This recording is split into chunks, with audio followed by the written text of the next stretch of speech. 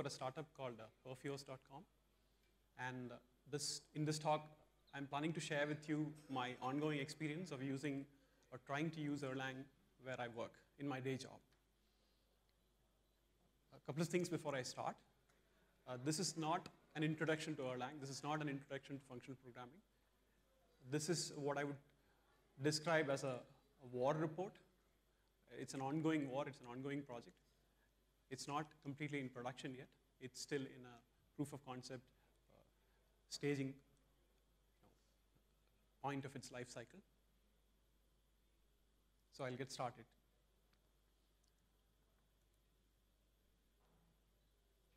Okay, uh, I'm a functional programming beginner, even novice you'd call, and I haven't used Erlang in anger uh, earlier except for very trivial stuff. This is the first uh, sig significantly sized Erlang project that I'm working on. Uh, as I stated, this is uh, very specific to a particular experience that I'm having. It is not about, it doesn't really play to all of Erlang's strengths and the areas that it was designed to tackle. Okay. With that caveat, in, in fact, even though the speech is slotted for 45 minutes, it won't take 45 minutes. I think I'll wind up in 25. But with that, I'll get started. Perfios is my employer. That's where I work. I'll give you an overview of Perfios because what Perfios does is very relevant to the kind of problem that I'm trying to solve with Erlang. Perfios was started as mint.com for India. I don't know how many of you have heard of mint.com. Is anyone familiar with Mint? You are? Okay. Mint is effectively a personal finance tracking platform. Aggregate all your accounts under one play, you know, under one roof. Uh, view reports that tell you about your spending and stuff like that. The founders of Perfios had considerable investments and they were finding it difficult to manage them, uh, track everything. So they came up with a tool which did it for them and then eventually it evolved into a product. That's how it started. Uh, Perfios launched about six or seven years ago. Over the years, we have grown into a small company. We are not, strictly speaking, a startup anymore. We are a small company. We are about 40 strong. And uh, from a single product, it has gone to a suite of products which caters to the individual as well as businesses. Uh, the businesses that we cater to are mainly banks, non-banking financial companies, primarily people who are in the business of lending money. What does Perfios do? We collect and we analyze financial data. In case of individuals, we collect and analyze personal information uh, and uh, data from banks, credit cards, mutual funds, you name it. Whereas in case of banks, it's a slightly more complicated story, which I'll come to in a second.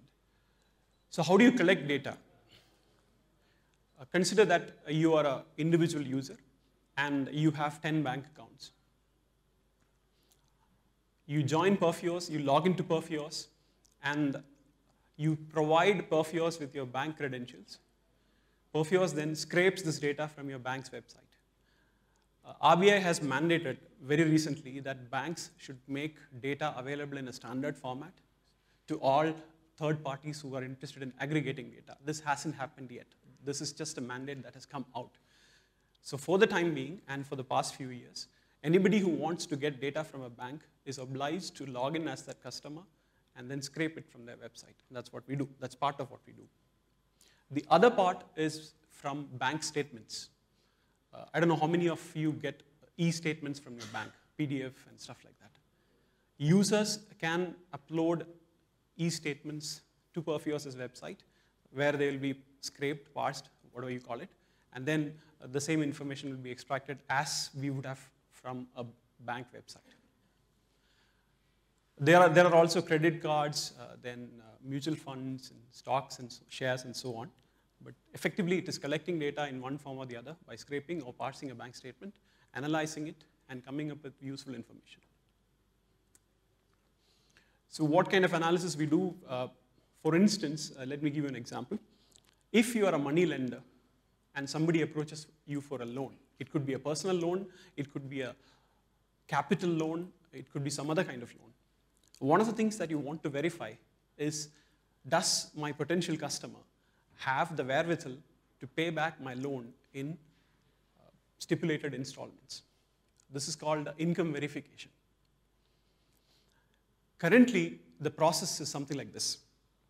I approach a bank for a loan. They ask me, okay, show us your bank statements for the last six months. At this point, I have two options. I can print it out, like hard copy, and then give it to the bank, or I can email them my PDF statements. In any event, these are relegated to another team. There is a separate team whose entire job is to go through these statements, note down all the interesting transactions, put it into an Excel sheet, then run some custom macros on that Excel sheet, and finally come up with some numbers which say, okay, this person is qualified or he's not qualified. Or he is qualified, but with, uh, you know, he, we will not give him a loan of more than so many rupees. His EMI will be so and so. Primarily, banks are interested in finding out if the EMI that they are going to charge a customer uh, is within the limit of the customer's ability to pay, to pay safely. Because uh, at any cost, they want to avoid people who default. this process of data entry and extracting information from bank statements is very cumbersome. It takes like days or even weeks, particularly in the cases of small businesses where you have thousands or even tens of thousands of transactions in a month going through all of it and finding out what is relevant. For instance, are there any bounce checks? Is there any uh, outgoing payment which can be considered as a drain on this person's income? Uh, what is the average uh, bal bank balance of this user on the 5th of the month, on the 10th of the month, on the 15th of the month, and so on. Perfios provides a solution where uh, the bank or the money lender or the NBFC, non-banking financial company, can upload their end users' bank statements to the Perfios platform. Perfios will analyze it and then come up with these statistics and generate a very tailor-made report for that particular customer. Uh, some of our customers include uh, Kotak Mahindra Bank, Bajaj Finserv, ICICI Bank, HDFC. So if you've taken out an HDFC loan recently, or Indiabulls housing loan, that's a very recent customer. So if you've taken a loan from Indiabulls for housing, then uh, chances are that we have processed your data and generated a report for Indiabulls. that is the context. What do I do? I head this particular product which helps uh, money lenders, uh, makes their lives easier. How does it work today? There are a few distinct components, one of which is, of course, uh, capturing this data from the end user. I won't go into that in much detail. It's uh, standard HTML, JavaScript, Flex, whatever. And we also have an API. Uh, banks use one of these um, different modes to pass the data on to, Perfios. Orchestration of everything is done by Java currently. Scraping and parsing, however, are done in Perl and Python. Bank websites keep changing practically every day, and we support something like 300 different institutions. So, we, so consequently, we use a dynamic language to parse, and uh, Perl and Python, we have roughly like a 70-30 split between Perl and Python. So that, that forms a significant chunk of our code base. Everybody talks to Java. Java invokes Perl and Python as necessary, parcels out the individual jobs and says that, okay, you know, here is a statement I want parsed. Please go ahead and give me the transactions or any relevant information. Or here are the credentials. Go talk to this website, fetch my users' bank transactions for the last three months, six months, whatever, and give them to me. Finally, the data is collated and then we pass it to R for analysis, and R does some basic statistics and so on, and eventually a report is generated. This is what is happening today. so this is what it looks like. Uh, you have a user input layer, then you have an orchestration, then you have two different types of processing. One is scraping from a website, the other is parsing or processing a PDF statement. Then eventually you collate it, and then finally you analyze it. Here, the problem or the area where we would like to see an improvement is this orchestration and parsing. We are growing at the moment. The number of transactions we get per day is increasing. And as we grow, we are finding it more and more difficult to scale up these particular areas. User input scaling is very easy. We, you know, Java can easily handle it. Analysis is very compact no problems there. But parsing and scraping, that is where our biggest challenges are. What would we like to see? We would like to see something like this. User input orchestrate, and then have a horizontally scalable layer where you can distribute parsing and scraping to one or more machines or across machines, across nodes, clusters, and then have them all collated and analyzed. In fact, you can uh, distribute this part also, at the moment there is no need for that. This is what we would like to see. So scaling with demand is one problem. Then we need fault tolerance and distribution. If you use Erlang, then all these terms sound familiar to you. Uh, bank statements are very bad. I mean, I, I, you know, I work with them every day. Within a bank, you have any number of formats. There is no one consistent PDF format that a bank sticks to. Even some of the better banks, uh, for instance, Citibank, has three or four. And uh, don't even get me started on the corporate banks and the uh, cooperative banks and so on. They are much worse. Within a bank, from branch to branch, from state to state, from location to location, the structure of the bank statement varies. Transactions may not be sorted. In fact, I don't know how many of you actually go through your bank statement and verify that all the transactions are there. Some of them don't even get reported for months. At some point, the bank's ATM, I mean, uh, the banks decide that, okay, let's reconcile everything. They run some batch process in their mainframe, and then suddenly some transactions pop up. And those are relevant to you. You find, you, you don't really care because I think most people look at the particular amount in their bank account and say that, okay, you know, that's somewhere in the ballpark that I expect it to be. It's cool. I don't really worry about all the nitty-gritties. But when you're working in a company and uh, you're looking at 30,000 transactions in a month, then all this becomes important. Because if you miss out on an interest payment, that may affect your working capital for the next month. If you miss out on a few payments which the bank is supposed to have cleared and it doesn't happen, then you have a problem. So bank statements, very bad. I mean, they're like terrible. No, uh, RBI has mandated that, and they're supposed to provide it within a year, but nobody is holding their breath. I mean, so. I'm sorry? No, it is just a declaration of intent. I mean, knowing banks, yeah, I wouldn't be surprised. In a way, we are counting on it because that's our bread and butter. So, hey. so,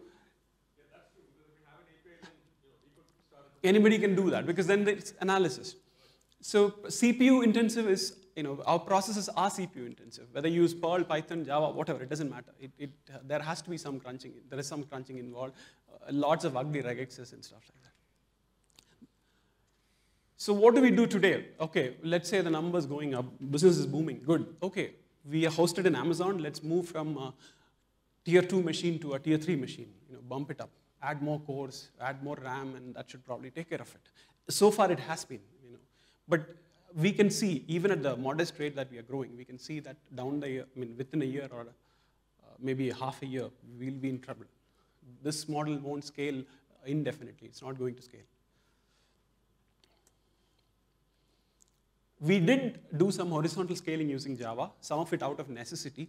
Uh, some banks actually block your IP address if you're not based out of India. So if you want to scrape data from certain banks, you have to have a server in India.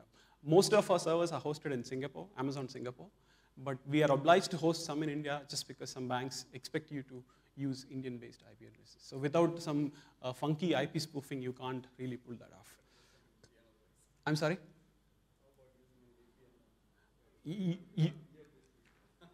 so you have a bunch of issues. And Indian cloud providers, please don't even get me started. I mean, they're, they're, they're terrible. So machines go down, they arbitrarily reboot, and they're not Amazon. Amazon is not in India yet, or rather, they just came in, and they're just settling in. Uh, but some of our customers insist on you know, having their data kept in a particular data center of their choice, and those guys are terrible.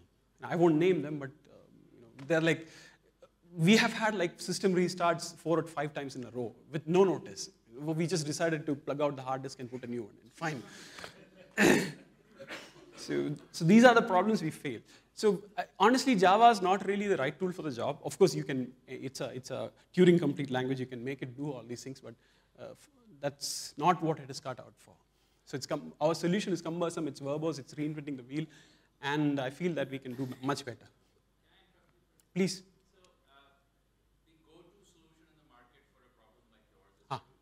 I'm sorry?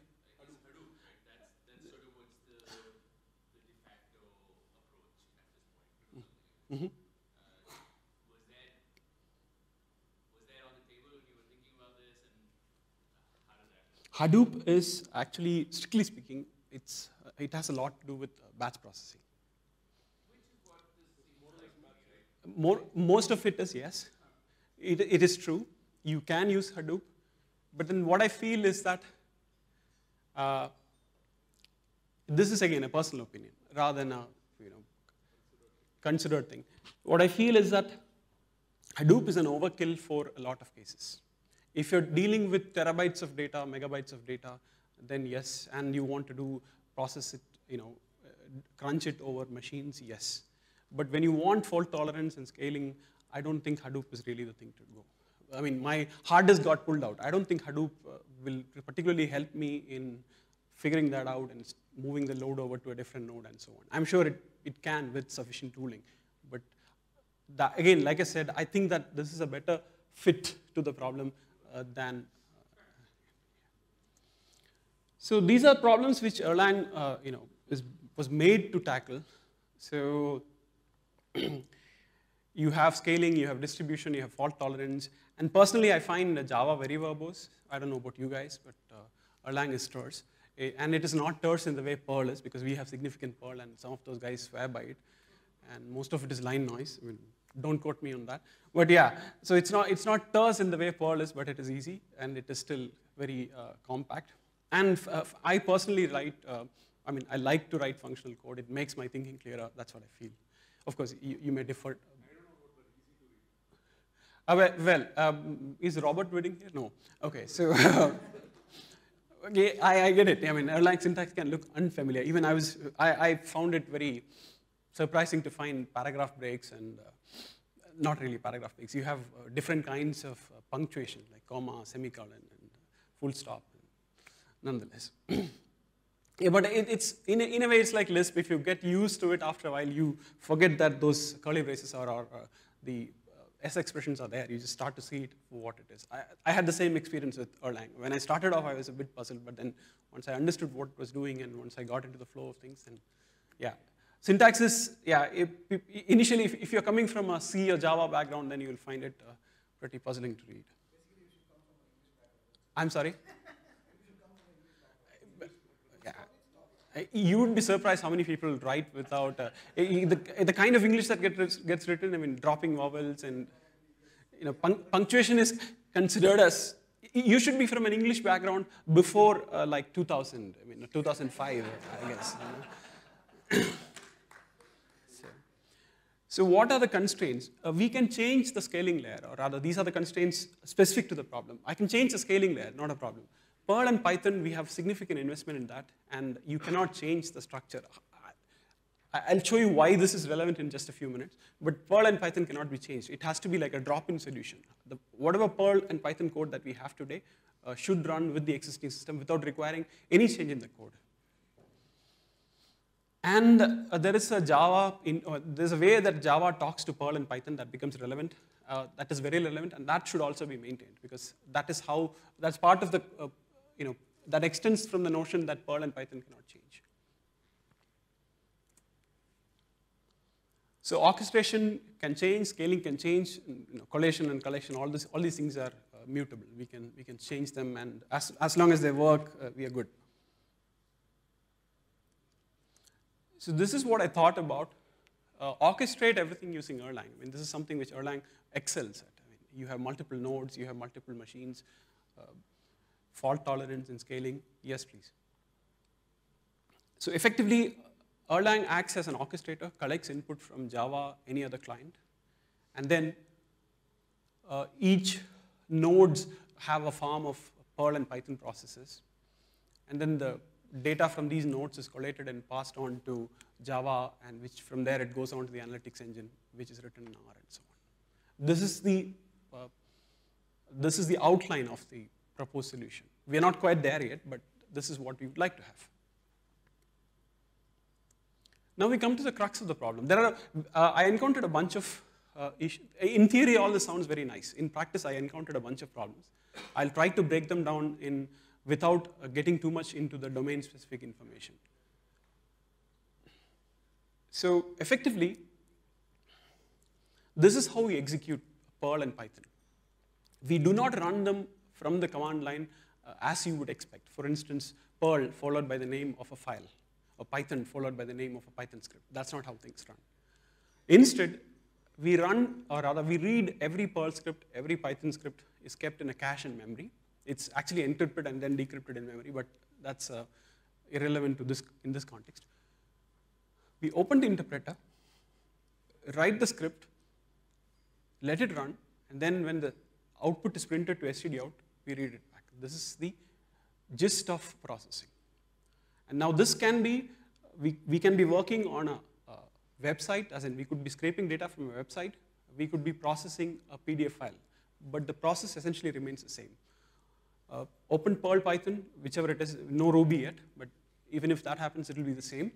Then uh, latch on to the interpreter, feed it all the code that you want to with necessary adjustments, and then to fire it off, let it run, and you read the result. All the Perl scripts, Python scripts have been, uh, yeah.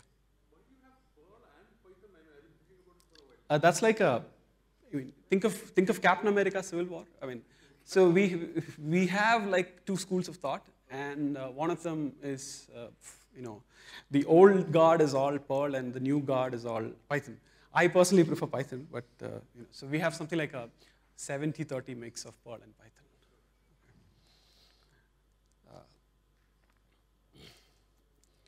Okay, now how, as a human, how would I do this? You know, so I, will just switch over to a simple Perl program and I'll show you what I mean. Okay, so F5.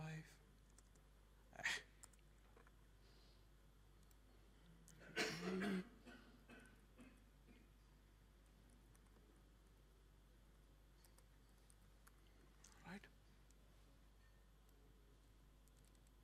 Uh, can, can you guys see this?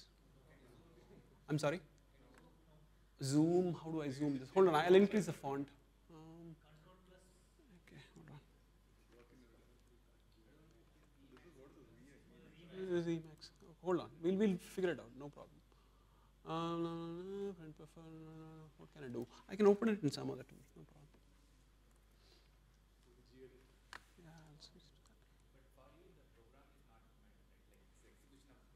that. Yes, I just wanted to show you how, uh, you know, the, the different variants of it.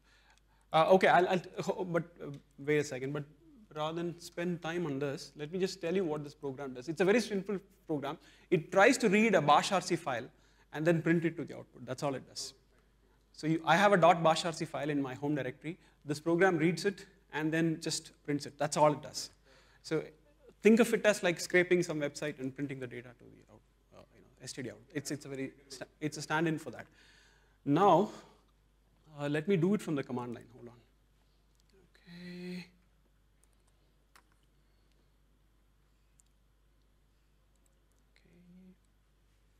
Okay, I can't see that.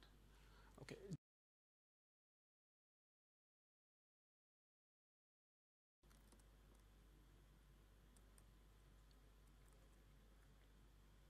Okay. Wait a sec.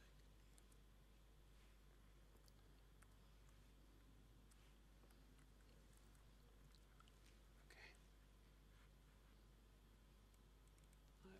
I'll increase the font size.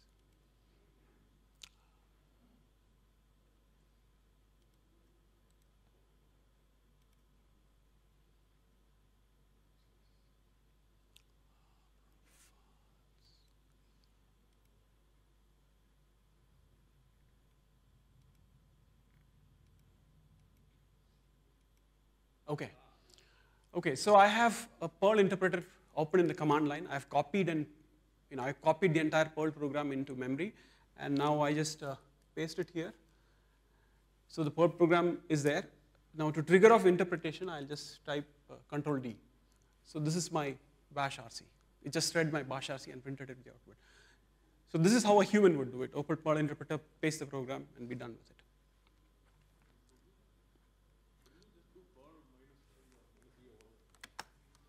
No, that, that's what I said. So we don't want to run anything from the command line. It, it, you have to have, that's like a constraint which we have. But you can paste to I'm sorry? uh, no, I'm, I'm saying that this is how a human would run it. I would, uh, I'm just, I'll show you how we do it using Java in, in a second. Okay, so, all right.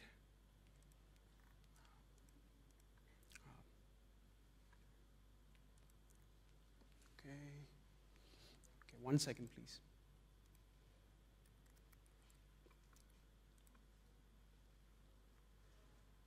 All right, come here.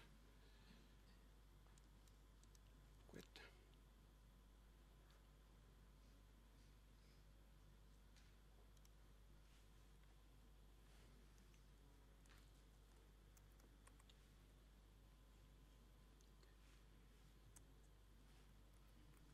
All right, this is my Java program, which does exactly the same thing. Let me see if I can increase the options.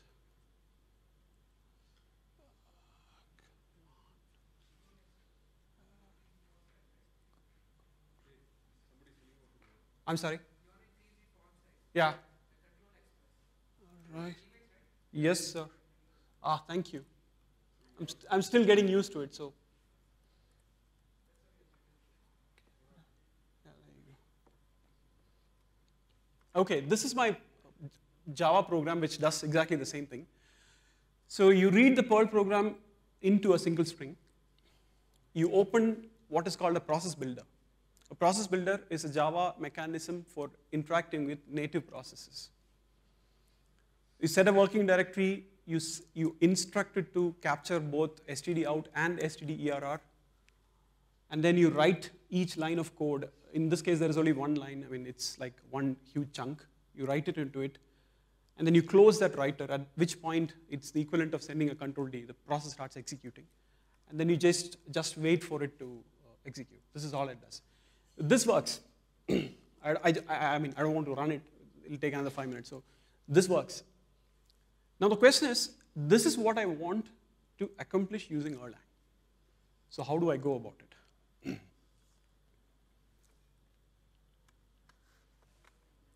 Excuse me.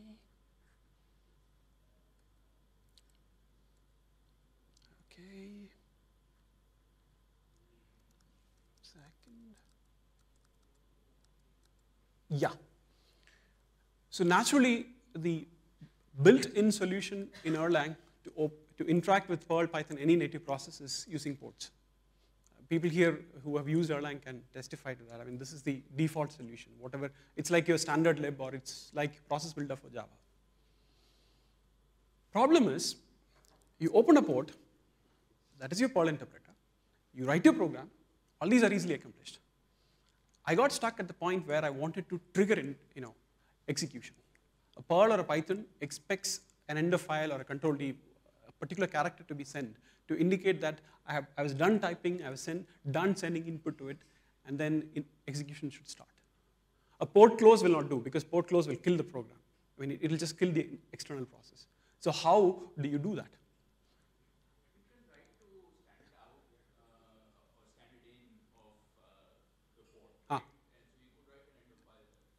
How, how do you do that in Erlang? Trust me, there isn't an answer. I trawled through, or as far as I could find out by trawling through the mailing list, somebody has asked this exact question, and the expectation is that Erlang ports were not written for this particular purpose. They were written for some purpose which uh, the authors needed, and I can pass you that reference. I looked at the entire you know, thread where people were asking the same question. So the expectation is that this was written in mind more like think of a regular OS port. You send a message and you receive a message. That was the expectation in which it was written. So consequently, unless you could figure out a way to send those control D, that particular character, to this particular program, there isn't a way. I tried uh, sending the binary equivalent, I tried sending the hex equivalent, but none of it worked. If there is a better way, then I'm all ears. I'm, I'm willing to, you know, Uh, like I said, a Perl and Python, you know, we have a civil war as it is, so no further acrimony will be permitted. So, yes, you, you effectively need uh, somebody who is listening, who takes the code, uh, does the execution, and returns the result. So, in the absence of that, this won't fly. And uh, yes, that's like a constraint. That's like fixed. I can't change the Perl code. I can, yeah. I, I beg your pardon? STDIO flag. I tried with it. I'll show you some sample code I have, but uh, hang on a second, please.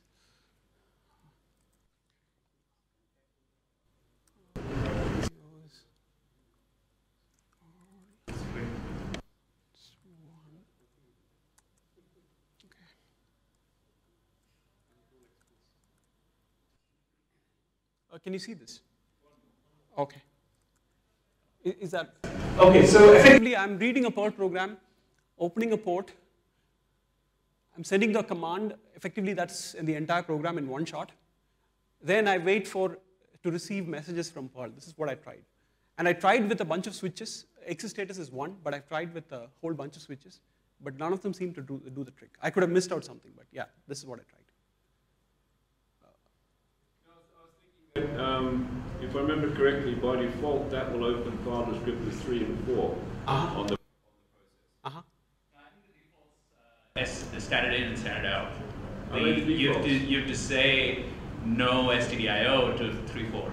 Okay, because because otherwise, I, uh, yeah, I did try this with another program, which behaved in the way Erlang expected it to, and it did work. There's a program called GNU Chess, which somebody has used as an exam. Uh, you can send it moves, and it'll send you stuff back. It's written in C. I did try that. Erlang has given a simple C example of adding two numbers, I believe, or factorial, and I tried that also. That worked, but this particular case, it didn't work.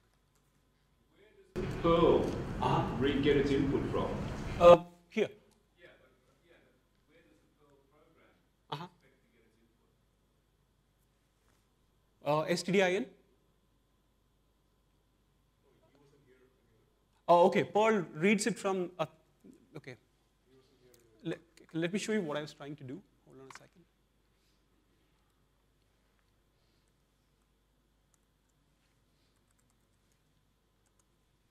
Okay, I've op- opened the Perl interpreter. This is what I'm trying to simulate. And I'm done. So effectively, I've opened the interpreter, which means that it is waiting, the std uh, in of that particular process is where I'll be sending input to, or that's where Perl expects it, its input. Uh, does that answer your question?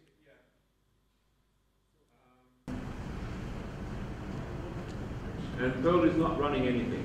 No. It is not running anything. It's, it's operating as an interpreter waiting for input. Yeah. Uh-huh.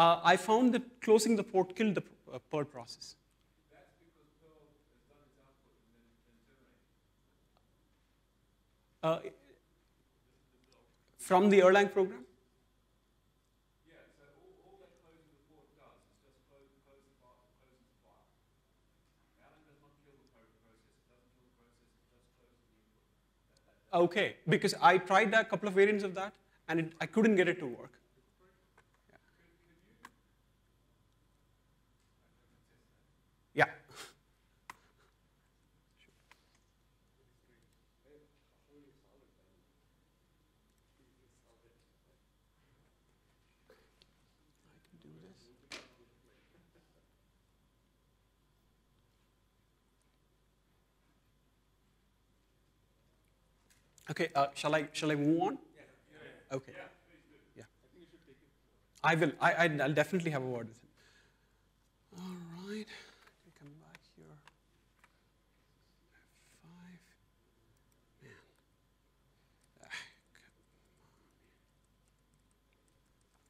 Man. Okay. So uh, I consulted one of the mailing lists, and uh, people who knew Erlang were saying that you should use a custom wrapper. Now, I could write a custom wrapper, but that would be time intensive. So I looked around for a custom wrapper and I found something which worked particularly well. This is the erlexec library. It's written by Sergey Aleynikov. And he has written a custom C++ port program, what you just mentioned, uh, effectively an agent which you can send to. And uh, the library is well written, I like it. And there is a mechanism to explicitly send an ender file. You can send the atom, EOF, and it'll be interpreted, it'll be passed on to the custom wrapper as an ender file, and it does the trick. or rather, it, it, did, it worked for me. Let me show you the equivalent program. Okay, so here we go. Are we here? Okay. Ports two dot zero. Flex plus. Okay. So you read the program. Ah, come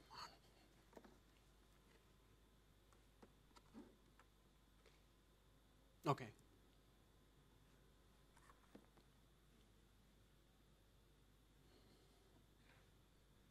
All right.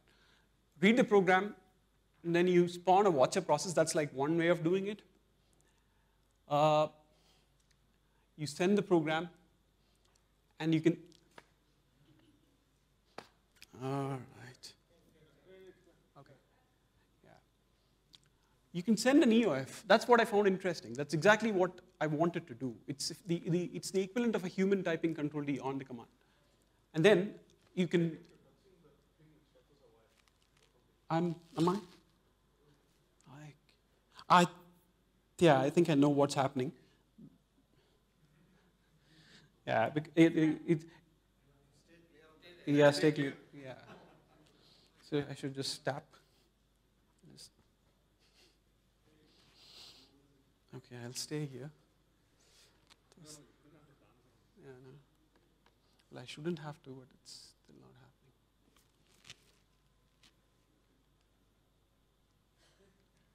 Okay, can I get some help, please?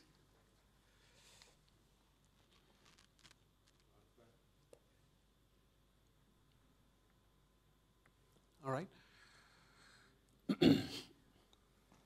In effect, it does the same thing. Okay, I'll, I'll, I'll okay. Forget, forget, forget the screen for a moment. I, I, let me complete my thoughts. Uh, this particular library does two things. One, it lets you explicitly send an end of file marker, which in, tells Perl that, okay, I'm done writing the program, now you can start executing. Two, uh, it, it gives you a sort of a pseudo monitor. It's not like a real Erlang monitor, but it pretends or it, it gives you the same effect. You get a message once the program has ex exited so that you know that whether it was a clean exit or a bad exit and so on. This serves my purpose. Uh, in the absence of further information about, uh, you know, if I can do it better through the built-in library, which I would prefer to do, I, will stick with this. This is what I'm doing, or rather, this is what I'm working with. Yeah.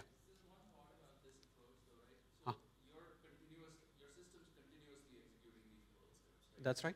Uh, so there's time spent in Bringing up the Perl interpreter. spawning and killing the Perl interpreter. We, ha we had a talk The about. exact scheme is just keep the Perl interpreter online, right? The th- do that for you. Uh, that is true. Uh, to keep Perl interpreter online, you need to clean the slate after every execution. For that, you have to make sure that your Perl program doesn't leave any traces. It should, it should do house cleaning. Like I said, that's out of my hands. If I could, I would say that you know we shouldn't even be doing this. So, uh, all right. Okay, so we come back here. Okay, we come back here. All right, all right. Okay, so what is there now? Uh, I have a working solution in place. Like I said, it's not production ready yet, but it's used for internal testing and stuff like that. It uses Erlex. Are, I'm able to run with multiple nodes in the same machine. Those are things which, you know, Erlang gives me out of the box. I don't even have to worry about that. Yeah. Uh-huh. It's the same as killing the port, but killing the port without sending control D will just kill it. It's like, think, think of it this way. You have typed Perl in your command line, and you've written some stuff, and then you open another terminal and kill this process. What happens? Nothing happens. It just kills. I mean, it, it doesn't start execution. My objective is not to kill it. Killing has a different meaning. The objective is to tell it to, that input is done, so get, go ahead and get started with the execution. That's what I'm trying to say here. Yeah. So the currently the, the solution that I've come up with uses JSON over HTTP. It's not REST. I, I don't call it REST because it doesn't follow all the principles. But the working solution uses JSON over HTTP. Uh, but preferably, I would like to use RPC because this is an internal thing. This is not going to be exposed to the customer. This is completely internal. And I feel that JSON over HTTP is just complicating things. Uh, unnecessarily. In this case, there is no need to complicate this. Uh, the, the amount of information that you need to pass is very limited, it is very structured, and it's. Uh, see, user has uploaded his, his bank statement, uh, or he has given us his credentials. Now, uh, along with that, we have some other information. He has uploaded his, or rather, let's take simple case of web scraping. He has given us his Citibank user ID and password. And uh, he has told us that this is an IPIN and not a QPIN. That's like a particular identifier that Citibank uses. So we know that it's Citibank, username, password, and type of uh, IPIN, QPIN. This information has to be passed from whoever collects it uh, to Erlang to Perl uh, so that uh, Erlang can decide this is Citibank, so an appropriate Perl script can be picked up and executed. No, it, no, it, it isn't. In fact, that, that can be like, today it is Java. It's like a, a servlet or an API or some front end, Flex in fact, which talks to Java and then collects the data. So this is strictly middleware. Right? It doesn't, the clients don't see this at all. RPC, I tried to look at a bunch of solutions. Google's RPC is gRPC. It's a mature solution, uh, excellent Java support, but Erlang support is you know, still in alpha stages. It doesn't really offer much. Cap'n Proto is another protocol. Again, uh, Java support is there, and the support for Erlang is limited to serializing and deserializing. There is no RPC yet, even though Cap'n Proto is meant for RPC. Uh, uh, the Erlang solution doesn't offer RPC just yet. There is Jinterface, which is interesting. I've used it for some simple tasks, but I'm not sure that uh, treating Java as one of the Erlang nodes is the best way to go about this. You can do it, but I don't know if that is the best way to go about it. We've done a lot of this, and we essentially just open a TCP channel and use anything that supports serialization, deserialization. We, we're using BERT libraries, but Captain Pro is the same. Yeah. And you write a very simple uh, MFA syntax and then live with that, right? That You, you can, you can do that. The, the way I'd like to go about this, I'd like to focus on the other side and, you know, wherever interfaces are concerned, I don't want to write my own library and then test it for bugs and stuff like that. I have my hands full with the other code. So yes, all this is possible. In fact, that would be a fun exercise to do. So, so what is the good? Uh, so this is the gist of it. I, I have partic- another particular problem to address, but I'll come to that in a second. The good part so far is that the code is very functional, in spite of me writing it. It's very trivial to scale. It, you know, getting a node up, uh, same machine, different machine, it's pretty easy. And uh, compared to Java, compared to what I'm used to, there is a significant reduction in lines of code, which I like. And out of the box, I mean, merely using supervisor trees gives me a degree of redundancy, which is very hard to pull off in uh, Java. Don't, don't, you know, threads and thread pools and executors, let's not even go there. So that, that, these, that itself is like, these are the things which I enjoy. I mean, I, I can worry about the problem uh, rather than worrying about all the peripheral aspects. I mean, these, these are part of the problem, but I have a tested solution like 30, 40 years old, uh, 20, uh, 20 years old, which will give all this out of the box and it's tested and validated. Uh, I could use more libraries and tooling because uh, if anybody has used Java, one of, the, one of the best things about Java is the ecosystem.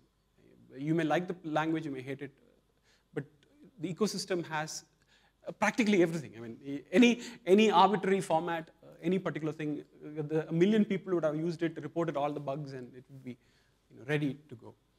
This is one particular area. For instance, you get the information as JSON. And uh, the way in Erlang to go about it, or one way in Erlang to go about it, is slap this JSON into a record. So I have a record which is uh, the input that has come in. Now I need to validate it. In Java, I can do validation uh, in a reusable fashion. I write a bean and I use annotations, which are standard. For instance, a string must be a maximum of length in, I mean, 64 characters. Uh, the, the string must be supplied. Some of this can be taken care of by RPC, but not everything. Now, JSR 303 is a very nice you know, standard. There are nice implementations, and they are reusable. I saw some examples. Somebody had asked the same question, and of course, you can roll your own. You can roll your own using uh, pattern matching, which does this nicely. The problem which I found with pattern matching on a record is that I have to write one for every type of record that I use. If I use like two or three different types of records, I'm good, I can use it. But if, I'm, if I want to make it handle different kinds of form input, then I have a problem. I will end up writing the same code or at best abstracted one level away for every type of record. I, I, would, I would love to see some kind of annotation equivalent uh, to pull the same thing off. There, are, there is somebody who has, I, I forget the name of the library, which is an experimental library which uses some form of uh, spec to pull this off. It, it is effectively munging Erlang code before and after to give this effect, but it's not uh, stable or anywhere near that. Erlang stack traces drive me crazy. This is the stack trace I got, and uh, the reason for termination is einval. Uh, it, I, I couldn't figure out, I mean, what is going on? I'm used to Java stack traces. The, I, I, thought they were bad, but so here what happened was this was a, this was a long Perl program, and I, you know, relatively long. And the, since the entire Perl program was written as one big blob into the port, it, it buffed. But it didn't tell me why it buffed. I chopped out the file in two, then in three, and then it clicked. Then it dawned on me that, okay, this, this is too big. It's being sent over TCP uh, to the internal port program, and that's why it's buffing. But it is not evident from that stack trace. It just says einval. What does that mean? So the solution is break it up into lines and feed individual lines, which works. But I would like to see, uh, you know, or rather, maybe I'm missing something. Maybe the port program isn't well documented. Maybe the error could have been improved, but stack trace left me like you know, in dire straits. Other problems are cultural. Uh, this I don't have much of a handle over. Some people say that Erlang is too exotic. I frankly don't understand what that means, but uh, you know, we are not talking about APL here, for God's sake. I mean, APL, yeah, it's exotic, but Erlang. And uh, we have too many people who are used to an imperative way of uh, programming the, the imperative furiosas of our uh, company. And uh, they are loath to give up their uh, multi-variable or multi-assignable variables and mutable data structures and stuff like that. So beans are like the ultimate weapon for a lot of people. And in India, it's, uh, I don't know how many of you know this, finding a decent Java developer is a tough call because it's like a buyer's market. Everybody has too many options, uh, and finding a good developer is difficult. I mean, even if uh, they like you, you know, to get them to join you, to get them impressed in your, or interested in your uh, problem, and so on, it's very difficult. Erlang is, you know, maybe an order or two of magnitude more than Java. I mean, it's far more difficult to find Erlang developers than uh, Java developers. I don't know how many of you here use Erlang in, in your daily jobs. No, I, I, I, you're prohibited from raising your hand. so. Okay, so. Hiring's always been a challenge. Okay. Um, the only thing that's worked right. really to scale uh-huh. is to train. Okay, so there you go. So that, that's a problem that we are facing with Java, but at least with Java, you have like courses, you have people in the company who know the stuff and so on. Uh, it's not like, and uh, honestly, uh, even in colleges, I'm sure that you know people who are good enough can pull it off. But anyway, that's a different discussion. Okay, this is a work in progress. Uh, what, what I would like to see uh, going forward is I want to clean up that Erlang Java RPC. I want, I'm looking for a good solution. You know, I want to get that sorted out. And I want to distribute across machines in a secure way. That means TLS. I haven't really spent much time to TLS in, in looking at TLS and so on because we are not, there is no guarantee that these nodes will be in the same cluster or in the same data center like I said, we are obliged to run certain machines in India, so which means we have to talk over secure channels. Now, auto-scaling is another thing which I would like to see. Uh, if, for instance, Perl uh, is notoriously CPU intensive in our case, so if the CPU goes above, let's say, 80%, then we would like to see a, a node uh, brought up automatically. Robust database interaction, and I, I want to get my colleagues buy-in, so wish me luck. So if you have any ideas, then we are hiring. Uh, you know, and that's it. Thank you.